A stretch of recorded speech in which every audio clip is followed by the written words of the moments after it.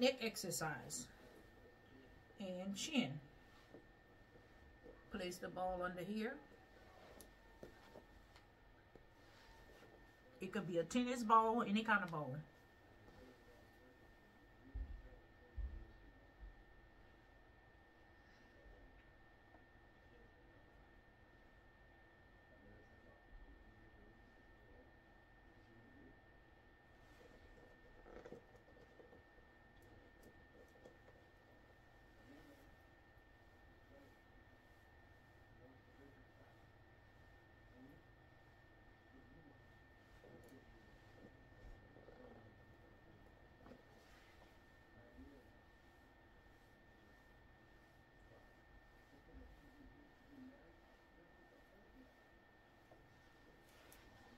That's what ball.